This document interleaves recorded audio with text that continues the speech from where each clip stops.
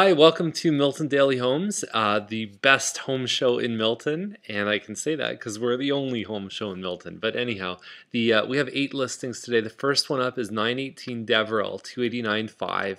It's uh, it's not a very good angle here. It is a three-story townhome. Um, it's called the Spring Valley, about 1350 square feet. Nice kitchen here, lots of space. You've got the breakfast bar, uh, lights over top of the bar, and that's a great shot of how the kitchen opens up to the family and also the dining room. You can see there's a door that leads out to the deck here. Okay, that's the main floor. There is a little seating area on the first floor when you walk in, which you don't see in a lot of these places. Okay, then we're back up to the second floor on these two shots. Uh, there's a shot of the family room. This is a three bedroom, so they chopped it up. There's a two and a three bedroom version. The, uh, the three obviously get smaller rooms. And there's the balcony. So no backyard, just the front yard. Uh, you know, there's one listed a couple days ago for 284. Um, it's in the ballpark. You know, the, I think there was some that sold close to 300 that were similar size, so it's all good. Uh, 1277 Lamont is 339. Um, I would expect these to sell a lot closer to the uh, the sort of 330 mark. Lamont is actually just right here, and you can see on the listing it gives you some clues. So it's on this side, and they're actually building live work townhomes in this area here. You'll get the construction, the noise, all that stuff. So where you see that is it says fronting on the south side right here. It it gives us clues as to where it is on the street um, along with things like Google Maps and Street View and things like that. Three bedroom, three washroom, possession date June 28th. Whenever you see that, you know it's an important day. Finished walkout basement. It does have nice pictures. Um, very well taken too. I like the uh, the photographer here. There's the kitchen. So a good layout. Walkout basement. I don't know. I'm not. I'm just not a big fan of these for some reason. I think it's just the stairs coming up. It's you already climb a flight of stairs. You know, just to bring your groceries and things like that in. Just not a big fan. So 1026 fourth line 359.9. This is a Hayden model, and I think it's like 1400 square feet. It's a little detached home. So your choice really is you you go for similar sized homes you can either go for a townhome around this size it costs you about 320 325 you get to a semi it's about 340 or you go to the detached around 350 360 so that uh, you know it's kind of plain inside there's really not a lot there they've done some nice rounded arches the nine foot ceilings on this model will make a huge difference and some more photographs there. The master is good size. There are two full bathrooms upstairs. Uh, this one's looking for May 3rd possession. We talked about that just a couple minutes ago.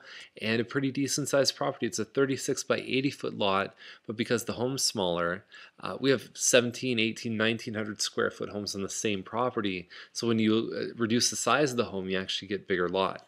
So unfinished basement, not too bad. It's kind of priced okay. You know, I'm not a big fan of fourth line. It's tough to sell stuff on fourth line, especially in that area. 965 Donnelly, 429.9. It's a four bedroom, three washroom. They're looking for September possession. So I see a lot of people in the market now that are really looking way far in the future. I think they're a little bit afraid of the effect of the HST, and I think they're also afraid of just the, the summer, July, August is typically not a real busy month in, in real estate, so they decide to try it out in the spring.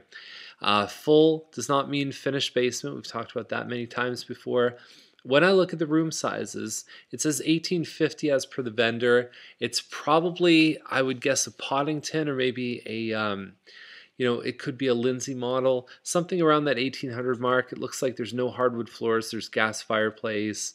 Um, they have done some under counter lights, things like that. Crown moldings, they've done a deck, so it looks okay. You know, to be honest, 429 they missed the mark on price. I think there's a lot better value out there uh, just based on what's on paper. We'll have to see the pictures.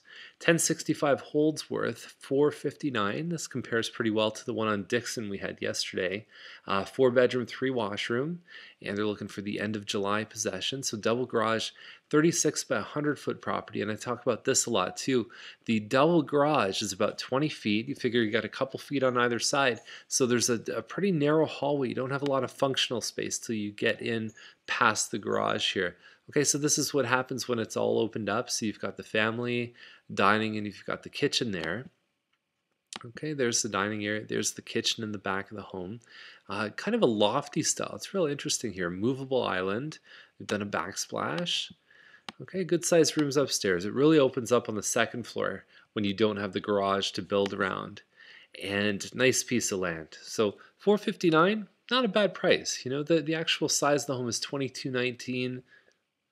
Pretty decent. It's not the steal of the century, but it's not bad. 617 Loughran is 519.9. It's four bedroom, three washroom, no finished basement, and it's a um, it's a Huxley, which we also refer to as a Scotswood, 2437 square feet. When you look at what it has, hardwood floor on the main level, gas fireplace.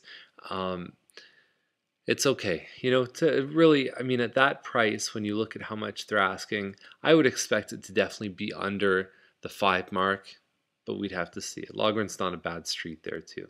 1660 Dempsey. This is the biggest model Mattamy built in the older phase. It's called a Westmoreland, 3715 square feet. There's no finished basement. 689 7, 5 bedroom, 4 washroom. And the pictures, decent hardwood floors.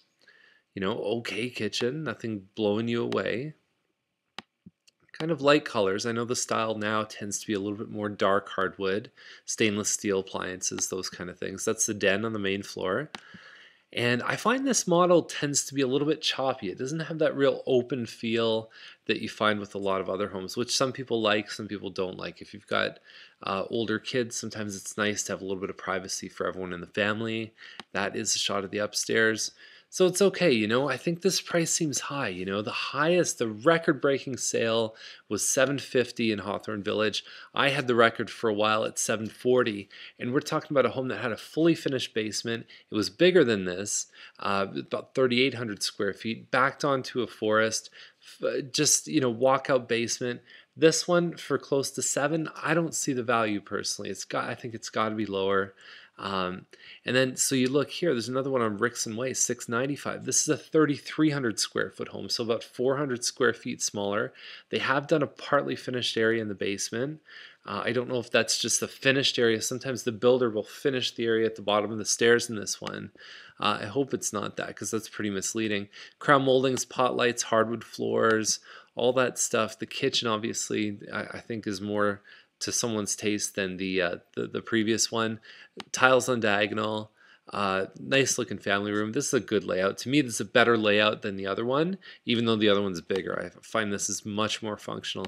Nice ensuite. There's the, the den upstairs, so there's a little area that's not a bedroom. Uh, it's a plus one. Nice backyard deck. Everything's done really well. Landscaping. Rickson's a great street. Um, I just don't think they're going to get the money for it. It's just a standard 56 by 80 foot lot. So that is our list for today. Um, what I'd encourage you to do is most of the weekends booked up. Uh, if you do want to come for a tour of homes, you can book something uh, during next week, or you can maybe even just come over and uh, hang out and grab a coffee with me at Starbucks. So have yourself a super weekend, and I'll talk to you on Monday. Bye.